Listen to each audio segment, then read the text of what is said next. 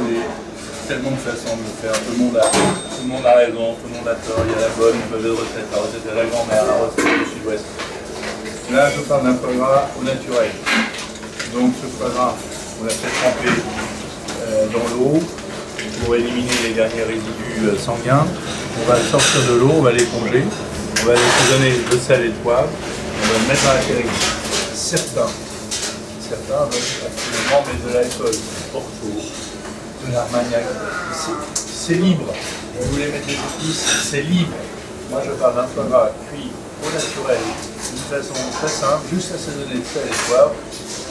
C'est un foie gras sans conservateur. Donc quand il va être cuit, vous euh, voir le, gras va remonter un petit peu, c'est normal, vous le mettez au frais et vous le consommez 2-3 jours après. Cet assaisonnement il va être généreux.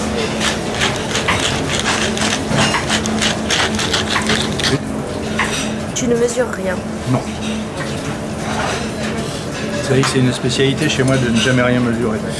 Donc après, met le foie gras dans la terrine. Alors, on le presse bien pour qu'il épouse bien les contours de la terrine. Les petits morceaux, on les met au milieu. Voilà. Voilà. Alors là, je presse, hein, bien vu, je presse bien, tout ça. Je vais le mettre dans le four, en 30-40 degrés. Allez, il y a euh, 900 grammes, 900 grammes, je vais cuire euh, 30-35 minutes. Et je vous dirai temps de cuisson plus précis, puisqu'on va le faire maintenant. Allez, bye le foie gras dans son bain-marie. Bain-marie, c'est de l'eau, etc. On va le mettre dans le four, 130 degrés, 140 degrés, on va le mettre une demi-heure. Alors, L'homme que vous mettez votre doigt au milieu, il est chaud.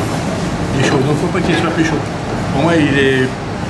C'est 30 minutes. Pli du foie gras, donc on va appuyer dessus, tout le, tout le gras va remonter et euh, on va le garder au frais. Voilà. Il est bien, il est bien Stéphane. Alors là, voilà, j'appuie un peu dessus, hein, c'est ça.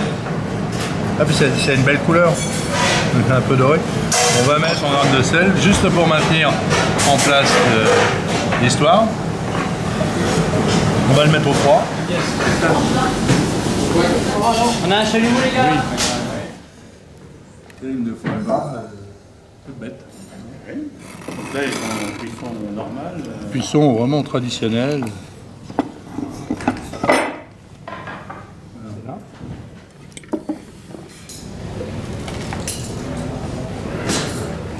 Top délicieux. Parfait.